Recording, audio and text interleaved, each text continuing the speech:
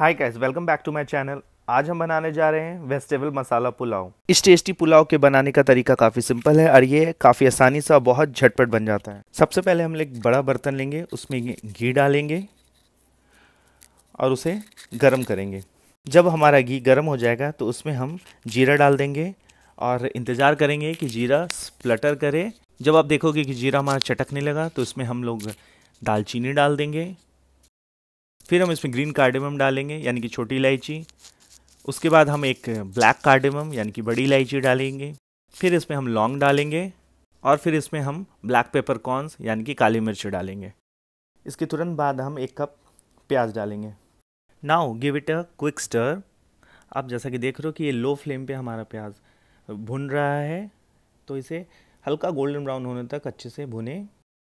आप जैसा देख रहे हो कि हमारा प्याज अब गोल्डन ब्राउन हो रहा है। जैसा कि आप देख रहे हो कि हमारा प्याज गोल्डन ब्राउन हो चुका है। अब इसमें हम डालेंगे अपना जिंजर गार्लिक पेस्ट और जिंजर गार्लिक पेस्ट डालने के बाद इसे थोड़ी देर हम भूनेंगे ताकि इसकी जो पावरफुल स्मेल होती है जिंजर गार्लिक की, वो निकल जाए, हल्की हो जाए। अब हम इसमें ऐड करेंगे हमारी कुछ green chilli slitted and give it a quick stir after ten to twenty seconds अब हम यहाँ पे ऐड करेंगे हमारे सूखे मसाले, जैसे कि हल्दी। फिर उसके बाद हम ऐड करेंगे लाल मिर्च पाउडर फिर उसके तुरंत बाद हम ऐड करेंगे अपना धनिया पाउडर इसके बाद अब हम अपने सारे मसालों को अच्छे से भुनेंगे, ताकि मसाले का कच्चापन निकल जाए और इसकी फ्लेवर खुल के और खिल के आए। मसालों को अच्छी तरह भुनने के बाद हम इसमें डालेंगे एक कप टोमेटोज़ मिक्स इट और स्टर इट प्रॉपरली ताकि अच्छे से मसाले के साथ मिक्स हो जाए। उसके बाद इसमें हम नमक ऐड करेंगे। नमक हमेशा अपने स्वाद अनुसार होना चाहिए। फिर शुगर ऐड करेंगे ताकि इसका सारा टेस्ट प्रॉपरली बैलेंस हो जाए। इन सब चीज़ों को ऐड करने के बाद हम इसे अच्छे से कुछ देर के लिए पकाएँगे। फिर इन सब चीज़ों को भूनने के बाद जब हमारा टमाटर थोड़ा गल जाए, फिर इसमें हम ऐड करेंगे अपना कैप्सिकम यानी कि शिमला मिर्च। शिमला मिर्च को डालने के बाद हम डालेंगे इसमें अपना एक कप कैरेट, जो कि फाइन जूलियंस कट में आप इसे किसी भी शेप में या कट में काट सकते हैं।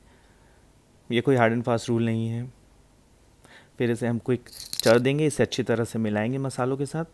और इसकी थोड़ी देर के लिए अच्छे से भुनाई करेंगे। जैसा कि आप देख रहे हो कि हमारे मसाले भुन गए हैं और हमारी सारी सब्ज़ियाँ भी अच्छे से भुन चुकी हैं। तब इसमें हम ऐड करेंगे थोड़ा सा पानी। फिर हम इसमें थोड़ा सा पानी और ऐड करेंगे। फिर इसे हम थोड़ा स्टर करेंगे।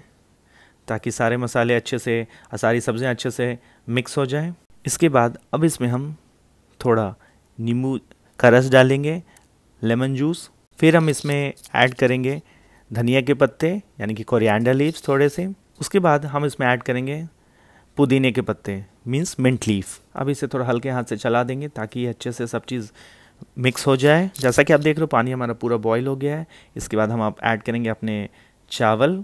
चावल को डालने के बाद इसे अच्छे से हम मिला देंगे, ताकि चावल और सारे वेजिटेबल्स एंड मसाले सब अच्छे से एक दूसरे के साथ मिक्स हो जाए। इसके बाद ऐड करेंगे हम थोड़ा सा गरम मसाला। सभी चीज़ को मिलाने के बाद हम इस पॉट को एक ढक्कन से ढक देंगे ऐसे बंद कर देंगे और इसे 20 टू 25 मिनट्स लो फ्लेम पे पकने के लिए छोड़ देंगे। जैसा कि आप देख रहे हैं, हमारा चावल कुछ इस तरह से खिला खिला निकला है। अब इसके बाद हम इसमें ऐड करेंगे एक चम्मच केवरा वाटर।